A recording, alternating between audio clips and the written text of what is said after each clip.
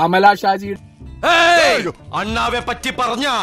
അണ്ണനാ? ആരണ്ണൻ അണ്ണാ കിട്ടിയാൻ കുത്തും. അമല ഷാജിയുടെ അമ്മ. ഗ്രീഷ്മ ബോസിന്റെ റീലിന് അടിയിലിട്ടുള്ള കമന്റ് വെച്ചിട്ട്.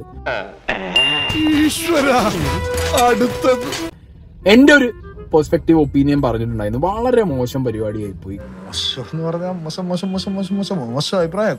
തെറ്റാണ്. തെറ്റാന്നേ പറയുന്നുണ്ട്. തെറ്റാണ് അവർ ചെയ്തത്. അങ്ങനെ ചെയ്യാൻ പാടില്ലാത്തൊരു കാര്യമാണ്. ഇയാളെന്താ ഒരുമാതിരി മുള്ള വെച്ച പോലെ വർത്താനം പറയുന്നത്? അപ്പൊ ഇന്ന് അമല ഷാജിന്റെ ഒരു സ്റ്റോറി കണ്ടു ഞാൻ. Hello everyone I here to explain the situation around my mother's remark acres land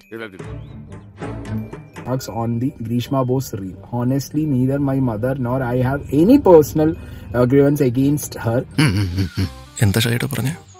ഒന്നും മനസ്സിലായില്ല കാണിക്കണ്ട. Greeshma made fun of my voice on a reel she showed a few days ago oh I see yes I am in the sea. In the heat of the moment, she simply uh, left a comment on the reels that Grishma had posted. അയാൾ എന്താ പറയുന്നേ? ആ എനിക്കറിയാം എന്തോ കാര്യമായിട്ട് പറയുന്നു. Okay ഈ same കാര്യം ഇന്നലെ എന്നോട് പേഴ്സണലി അമല പറഞ്ഞിട്ടുണ്ടായിരുന്നു. ഞാൻ ചെയ്യാ. അമല എന്നോട് ചോദിച്ചിട്ടുണ്ടായിരുന്നു ചേട്ടാ നമ്മൾ അറിയുന്ന ആളുകളല്ലേ? ചേട്ടൻ എന്നോട് എക്സ്പ്ലനേഷൻ ചോദിക്കാമായിരുന്നല്ലോ എന്ന് ചോദിക്കും പിന്നെ അതിലൊരു പേഴ്സണൽ എക്സ്പ്ലനേഷന്റെ ഒരു കേസ് ഉണ്ടെന്ന് എനിക്ക് പേഴ്സണലി ഫീൽ ആയതുമില്ല. എന്നെ തേച്ചതാണല്ലേ? ഇല്ലേ ഇപ്പൊ അമല റെസ്പോണ്ട് ചെയ്താലും അമലയുടെ അമ്മ റെസ്പോണ്ട് ചെയ്താലും.